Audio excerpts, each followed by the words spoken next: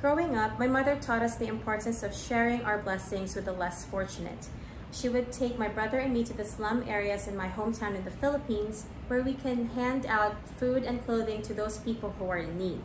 Over the years, that was the part of our family's tradition.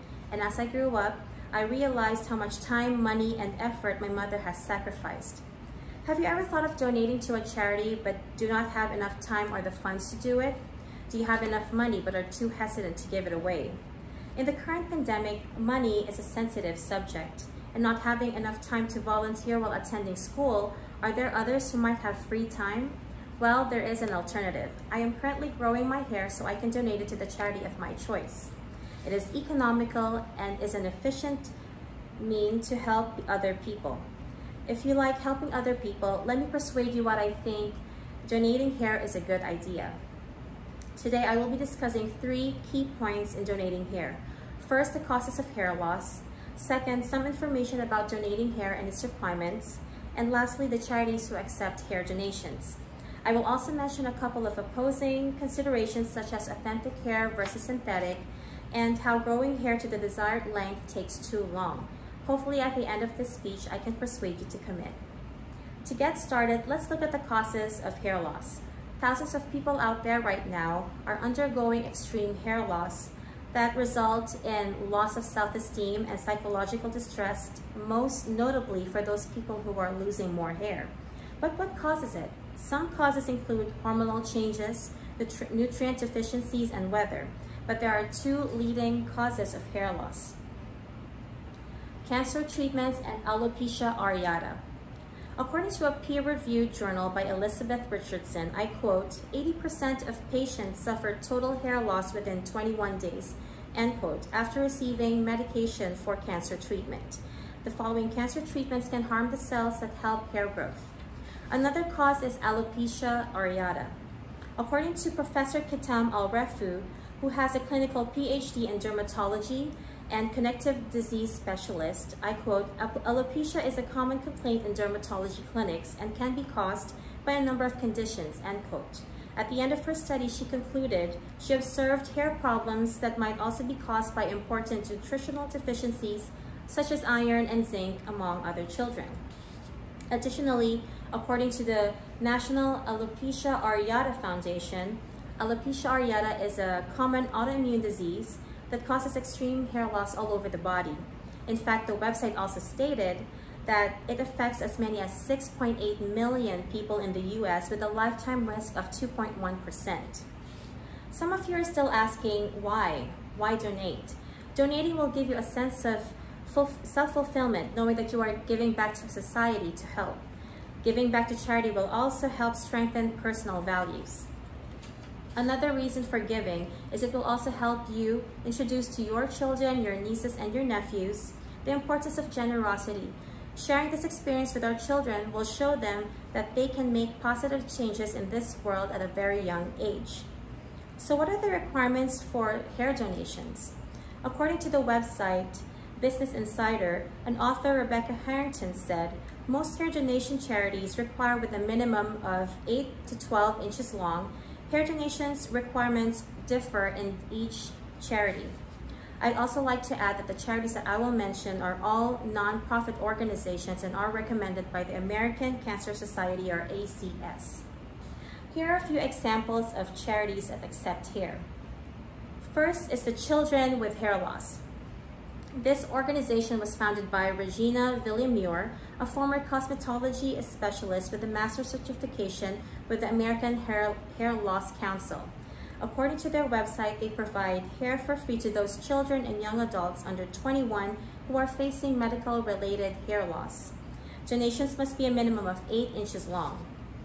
Second is the Pink Heart Funds, an organization founded by Joanne Nicely, who knows firsthand the emotional and psychological effects of going through cancer treatments and losing hair.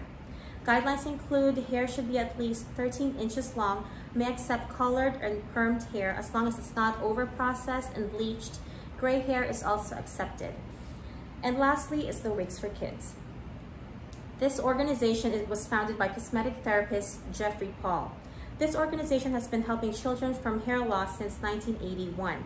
According to their website, this organization is a cooperative of effort among certified cosmetic therapists throughout North America.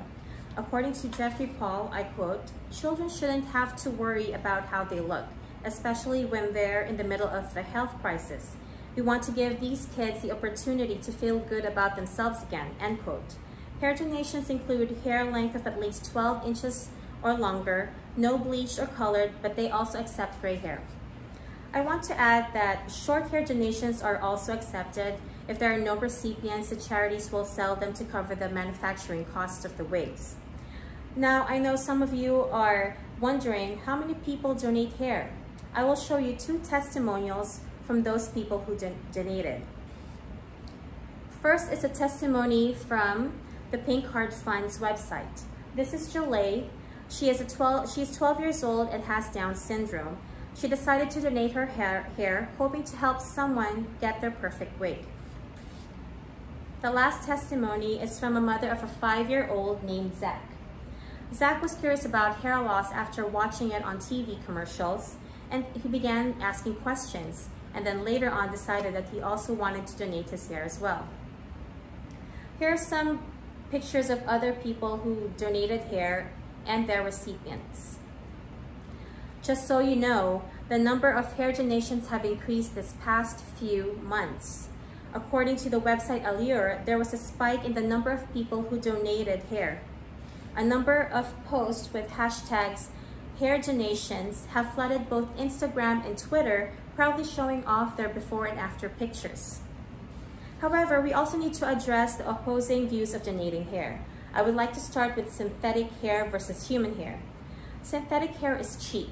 The wig's lifespan doesn't usually last a year like human hair wigs. It needs to be replaced more frequently, whereas with human hair wigs, the recipient can choose the kind of texture that resembles their own hair. Styling versatility, human hair wigs can be styled, permed, and colored. Its lifespan can last a year or more with proper care. The only disadvantage is the cost. Real hair wigs are expensive, but that's why charities like Locks of Love give free wigs to those children and other people who cannot afford it. This is also why these charities are also accepting monetary donations to cover the manufacturing costs. The next concern would be the amount of time it takes to grow hair and the maintenance while growing it.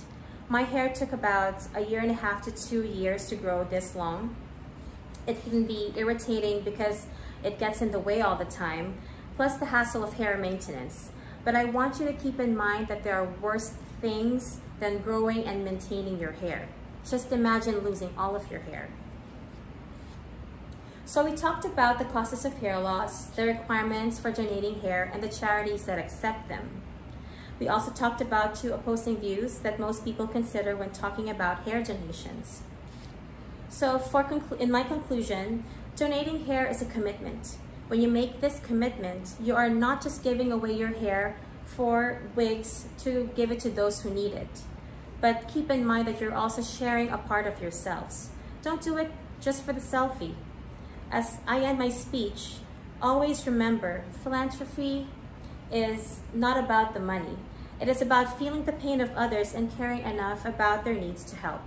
My name is Mira Manala and thank you for listening.